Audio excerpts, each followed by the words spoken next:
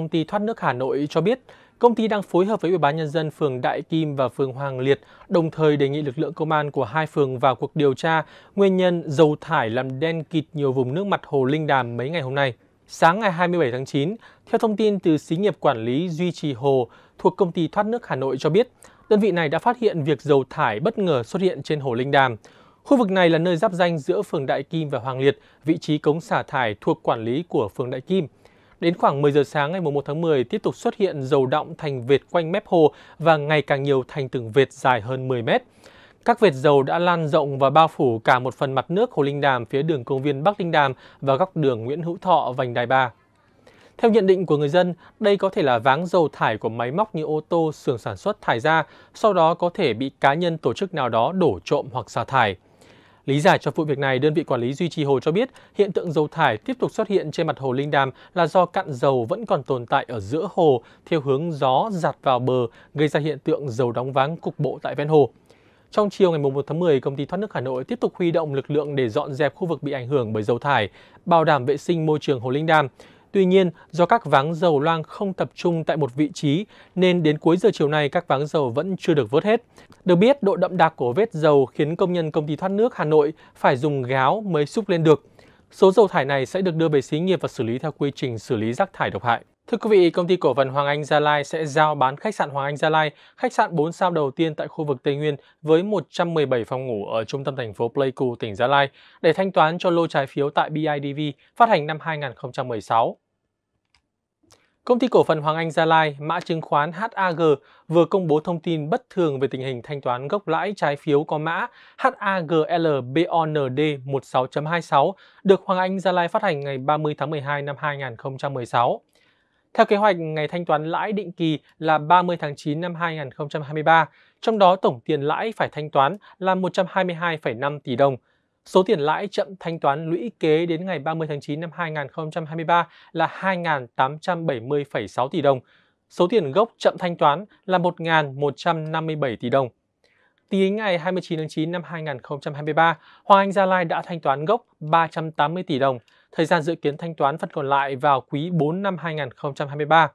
Lý do chậm thanh toán theo Hoàng Anh Gia Lai là do nguồn tiền thanh toán từ khoản nợ của Hoàng Anh Gia Lai Agrico và thanh lý một số tài sản không sinh lợi của Hoàng Anh Gia Lai. Để có nguồn tiền trả nợ, Hoàng Anh Gia Lai đồng thời công bố nghị quyết về việc triển khai thực hiện thanh lý tài sản. Tài sản được thanh lý là tài sản gắn liền với đất, là công trình khách sạn Hoàng Anh Gia Lai tọa lạc ngay quảng trường Phù Đồng, trung tâm thành phố Pleiku, một vị trí đắc địa của thành phố núi này. Khách sạn Hoàng Anh Gia Lai hoạt động từ năm 2005 là khách sạn 4 sao đầu tiên tại khu vực Tây Nguyên với 117 phòng ngủ. Hoàng Anh Gia Lai cho biết toàn bộ số tiền thu về từ chuyển nhượng khách sạn Hoàng Anh Gia Lai sẽ được ưu tiên thanh toán cho lô trái phiếu tại BIDV phát hành năm 2016. Thưa quý vị, Thiếu tướng Nguyễn Văn Thành, Phó Cục trưởng Cục Cảnh sát điều tra tội phạm về tham nhũng kinh tế buôn lậu C03 Bộ Công an cho biết nhà đầu tư trong vụ án Tân Hoàng Minh sẽ được nhận lại tài sản. Tuy nhiên, các bị hại cần theo dõi sát quá trình xét xử Ngày 2 tháng 10, Bộ Công an tổ chức họp báo thông báo tình hình kết quả công tác công an quý 3 năm 2023. Trung tướng Tô Ân Sô chủ trì họp báo. Thiếu tướng Nguyễn Văn Thành, Phó Cục trưởng Cục Cảnh sát điều tra tội phạm về tham nhũng kinh tế buôn lậu C03 Bộ Công an cho biết, đối với vụ án xảy ra ở công ty Tân Hoàng Minh, cơ quan điều tra xác định số bị hại là hơn 6.000 người đã thu hồi hơn 8.600 tỷ đồng. Theo quy định thì đây là vật chứng. Thiếu tướng Nguyễn Văn Thành cũng cho biết, khi tòa án tuyên án, kết luận thì tăng vật tài sản này sẽ được trả lại cho người dân. Nhà đầu tư sẽ được nhận lại số tiền này nhưng theo đúng thủ tục tố tụng. Liên quan đến vụ việc, lãnh đạo C03 cho biết số lượng bị hại là rất lớn. Quá trình xét xử, tòa án sẽ kiểm tra từng bị hại. Thiếu tướng Nguyễn Văn Thành nhấn mạnh, nhà đầu tư cần theo dõi sát quá trình xét xử để có thể nhận lại tài sản. Cũng theo lãnh đạo C03, cơ quan điều tra rất nỗ lực truy thu tài sản theo phương châm là bảo vệ quyền lợi cho nhà đầu tư. Nhiều nhà đầu tư do thiếu thông tin nên đã gặp khó khăn cho việc thu hồi tài sản. Tinh thần của cơ quan điều tra là triệt để thu hồi tài sản trả lại cho người dân. Trước đó, C03 đã ra kết luận điều tra đề nghị truy tố 15 bị can trong vụ án lừa đảo chiếm đoạt tài sản xảy ra ở Tân Hoàng Minh, trong đó có ông Đỗ Anh Dũng, Chủ tịch Tân Hoàng Minh. Các bị can được xác định dùng nhiều thủ đoạn gian dối để phát hành trái phép 9 gói trái phiếu riêng lẻ đứng tên công ty trách nhiệm hữu hạn đầu tư bất động sản Ngôi sao Việt, công ty cổ phần đầu tư và dịch vụ khách sạn Soleil, công ty cổ phần Cung điện mùa đông. Tổng giá trị của các gói trái phiếu này là 10.030 tỷ đồng. Thưa quý vị, thời điểm này, Bộ Giáo dục và Đào tạo đã hoàn thành việc lấy ý kiến các chuyên gia 63 sở giáo dục và đào tạo. Hiện Bộ này đang tiếp tục xin ý kiến các ban ngành liên quan để hoàn thiện phương án trước khi trình lên chính phủ. Tuy nhiên, với các em học sinh và các giáo viên, những người trực tiếp chịu ảnh hưởng từ những thay đổi này thì có suy nghĩ thế nào trước các phương án thi tốt nghiệp trung học phổ thông từ năm 2025 này, nhất là đối với phương án lịch sử là môn thi bắt buộc. Lan Nhi đang là học sinh lớp 11 và sẽ là lứa học sinh đầu tiên dự thi tốt nghiệp trung học phổ thông năm 2025 theo chương trình giáo dục phổ thông 2018. Nhi cho biết, ngoài các môn bắt buộc là toán, văn, tiếng Anh và có thể là thêm môn lịch sử, em sẽ chọn thêm hai môn tự chọn là địa lý và giáo dục kinh tế và pháp luật. Em mong muốn là bộ sẽ quyết định là sẽ cho bọn em thi 3 môn bắt buộc. Còn tại vì nếu như thêm một môn nữa thôi thì cũng sẽ là tăng áp lực rất nhiều cho học sinh ạ. Em mong muốn là chỉ có 3 môn bắt buộc thôi thay vì 4 môn để có thể giảm bớt gánh nặng và áp lực cho học sinh. Tại trường Trung học phổ thông Việt Đức Hà Nội, đa số giáo viên nhà trường khi được hỏi đều chọn phương án thi 3 môn bắt buộc là toán, ngữ văn, ngoại ngữ và hai môn tự chọn.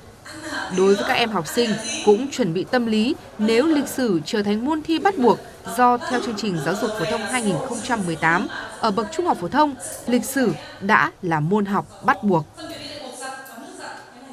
Những môn học bắt buộc và thành những môn thi bắt buộc như là toán văn Anh thì vẫn ờ, luôn là những cái ờ, môn ờ, quan trọng, môn thiết yếu nhất.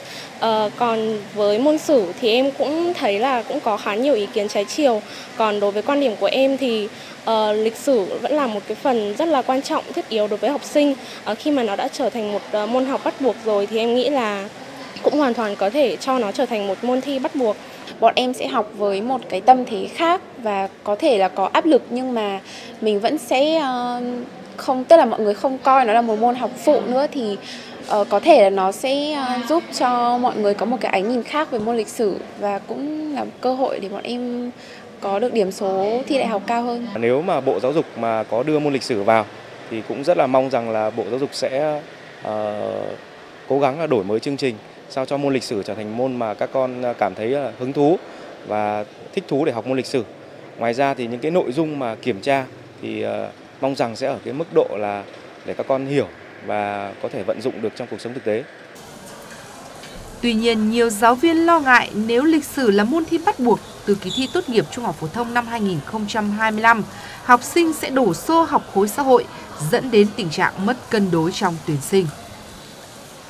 Ngoài cái việc là giảm cái áp lực thi cử đối với lại học sinh thì ngoài ra thì có thể là cân bằng giữa hai khối là tự nhiên và xã hội. Vì nếu để môn sử vào tổ hợp á, thì sẽ là gần như là cái phần xã hội nó bị lệch hơn nhiều hơn là so với phần khối tự nhiên. Bộ nên là cân cân nhắc về việc chọn lựa làm sao cho cân đối giữa khoa học xã hội và khoa học tự nhiên để các em có thể là uh, cũng không bị áp lực nhất là với các em mà muốn thi khoa học tự nhiên thì các em không phải à, đắn đo nhiều lắm trong việc chọn lựa. Bộ Giáo dục và Đào tạo cũng cho biết đã nhận được rất nhiều ý kiến khác nhau về phương án thi tốt nghiệp trung học phổ thông từ năm 2025, trong đó có việc đưa lịch sử trở thành môn thi bắt buộc. Theo thống kê của Bộ Giáo dục và Đào tạo, năm 2023, số thí sinh thi bài thi khoa học xã hội lên tới 566.000 bài thi, gấp 1,75 lần số bài thi khoa học tự nhiên là 323.000 bài thi.